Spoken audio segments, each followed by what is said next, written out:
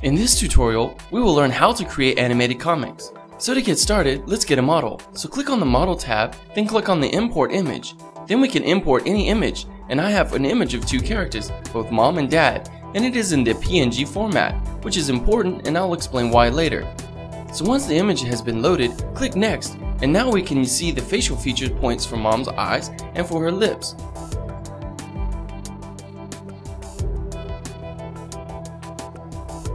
Then notice the bounding box around her. We can move that box to encompass her, and later when we want to transform her around the scene, everything within this box will move together.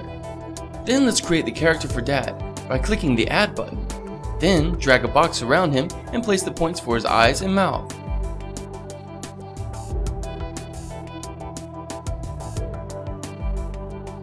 Then we can adjust the facial orientation for our characters, but they are looking straight forward so I think we don't need to worry about this step, so let's just press OK and move on.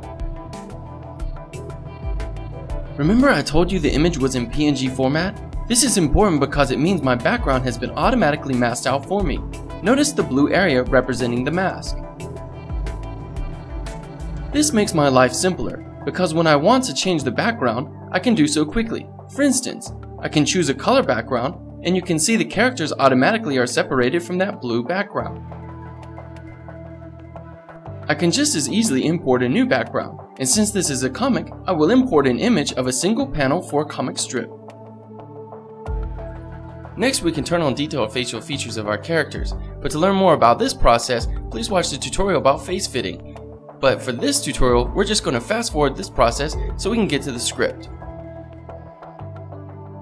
So what we want to focus on is the script. So let's go ahead and open up the script and let's go to the stage. Now notice we have character 0 and character 1, but that's going to be a little confusing. So character 0 is his mom, so let's go ahead and rename her to mom. Then let's do the same for dad, so let's click on character 1, rename to dad. Alright, now we want to import some audio files to create the Crazy Talk scripts. But we could always just use new script or recorder voice or text to speech, but in this tutorial I just want to import some import an audio file that I already have on my hard drive. So let's go ahead and find that. So it's under comics, audio, and let's import mom's voice.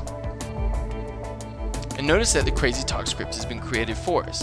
Now mom is going to talk about something and then dad's going to reply. So let's go ahead and click at the end of mom's script and then let's add in dad's script.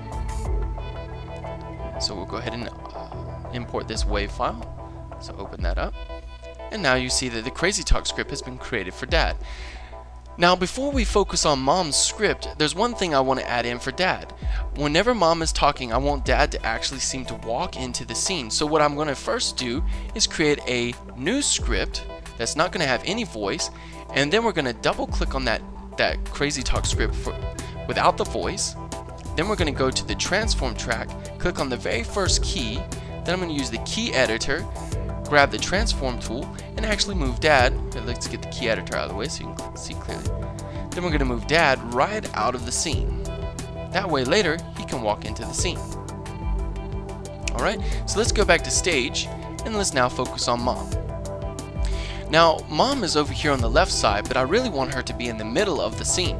So we're going to do the same thing we just did to dad by clicking on the transform key, we're going to use the transform tool to move her over into the middle of the panel, the comic panel. That way, as soon as the scene begins, she's already in the middle.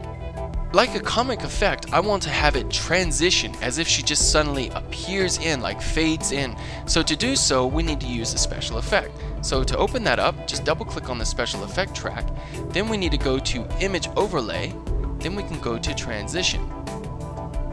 Now, the first thing you may think, since we want her to fade in, is to use this transition effect of fade in.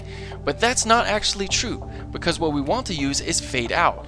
And the reason why is because of a movie magic trick, which you will have a white panel placed in front of her. That white panel will fade out, giving the illusion of mom fading in. So we'll choose fade out, then we'll go to the modify tab and actually change the size so that it encompasses her. So let's make it a little bit smaller maybe just a tiny bit smaller.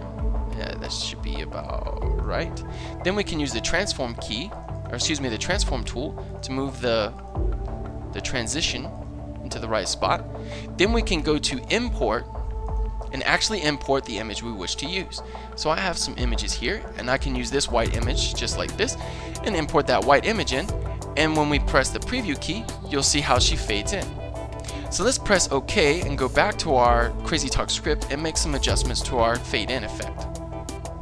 So notice whenever I press play the special effect seems very very quick. What we can do is press the control key and drag out that special effect so that the effect of fading in is uh, just a little bit slower. So when we press play, she'll slowly fade in just like that. Since this is a comic, what we really would like to have is some comic effects or something that is very iconic of comic books.